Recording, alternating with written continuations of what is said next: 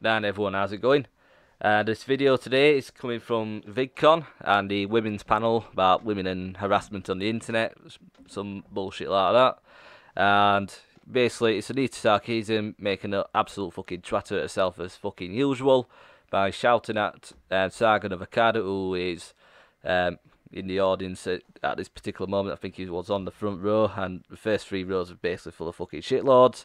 And I'm going to try not to repeat any points that anyone else has made. I've tried, I've had a look around over videos that other people have made about the situation.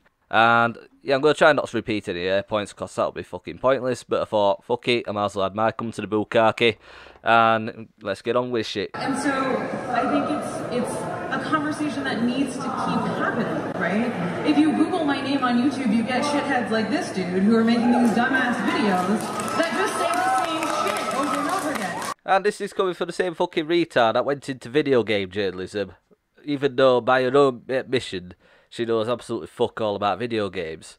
I mean, fucking hell, the reason why his videos or fucking Andy Warski's anyone else's fucking videos comes up when you Google your name because their videos are actually fucking popular, love.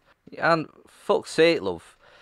At least they're fucking talking sense to people. You know, they're, they're not absolute. They're not talking absolute fucking shite. And like I said, you know, all their videos are fucking well researched, unlike yours.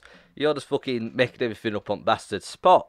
You know, they're not trying to fucking bullshit people into an ideology which is fucking toxic. You know, you, you should be fucking ashamed of yourself. You're calling him a shithead. You know, fucking look at mirror, love. That's the shithead. Like, I hate to give you attention because you're a garbage human. Oh, roasted! I mean, fuck's sake, Anita. Surely you could come up with a better fucking insult than that. But fucking hell, my four-year-old days could come up with better insults than that shit. Fucking get it together, love. And I'd like to point out this point as well. this Is a fucking panel about harassment. And she's fucking harassing Sargon of a Akkad fucking crowd who said absolutely fuck all to her. And she's fucking attacking this man. You know, you're gonna hurt his feelings for fuck's sake. I mean, he's fucking irony not a word in the feminist dictionary. For fuck's sake. Whatever, dude.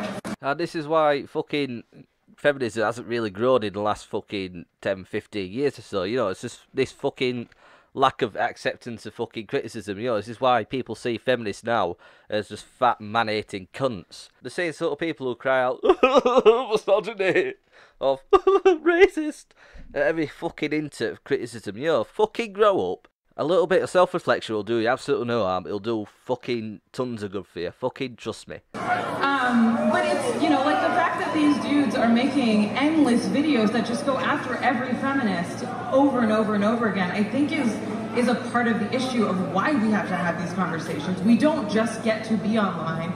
We don't just get to participate like everyone else. Well, the fact that you get to make videos online just sort of fucking disproves your own fucking point, though, doesn't it, love? I mean, just because you get criticism every now and again doesn't mean you're constantly being fucking attacked. You know, you do get a lot of good comments in your videos as well. I've seen your fucking comments when you're fucking activated, obviously. And, you know, you do get some good comments sneaking through for you. I mean, good for you. But the reason... But you can't conflate criticism with fucking harassment, you fucking spastic. You're putting ideas, your ideas, online, and people are critiquing it. That's just part of life, love.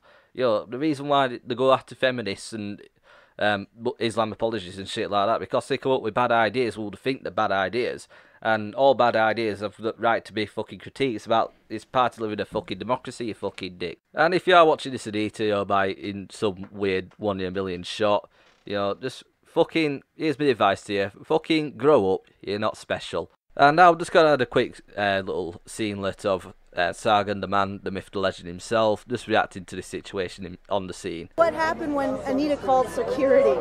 Because that's just so fucking satisfying. Oh, um, they, um, as far I've heard this third hand, so I, I, I would need to confirm it. But um, apparently, um, they they essentially said. Uh, it was uh, Naomi who spoke to them, and she said that uh, they had said that you know, oh, they're worried about something going on. And then she just said to the head of security, well, she's a public figure, she's attacking the audience, and she should be able to endure that, you know, she should be able to take it. And they were like, you know, that's a good point. And that's why they didn't chuck us out, they didn't do anything to us, and Anita is now the one abusing the audience. Spoken like a true professional. You know, I think everything he, he says in this as well is does completely stand as well because you can't be a public figure and be free from critique. That's not how life works, and it's fucking ridiculous. Like even if it is true that she called security on them, because what they're fucking doing, they're not fucking shouting anything, they're not being disruptive, not they're not throwing shit at them, you know, they're just, they're just fucking sitting there listening like, well, pff, respectful human beings, I dare say. You know, so it's it's fucking ridiculous. You know, she she is the homunculus in this situation. She is the bad guy. I'm not not afraid to point it out. You know, and Sargon, keep up the work, good work, buddy. You know, it's it's fucking pissing her off, and it's fucking hilarious. And Anita, you're a piece of shit. So anyway, thanks for listening to me ramble on and all about fucking nothing. And remember to like the video, share it, like upvote it, whatever the fuck you do with videos. You know, possibly send it in a time machine back to 1786, so some poor farm boy can enjoy the video as well. And yeah, see ya.